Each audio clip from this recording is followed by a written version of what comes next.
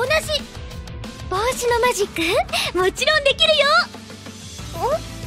んウサギじゃなくてハトで？うーんどうかな。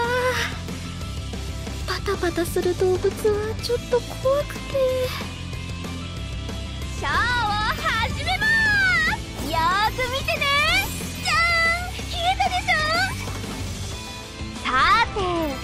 次のマジックの犠牲者は誰になるのでしょうじゃーん見たはっ！やっ！えいはっ！キラーン最後はド派手にいこうかフィナーレの時間だよ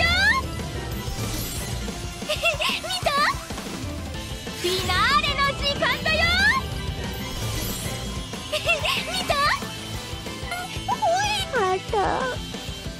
手品のほとんどはトリックなの。でも観客が手品を見て感じる喜びは本物だよ。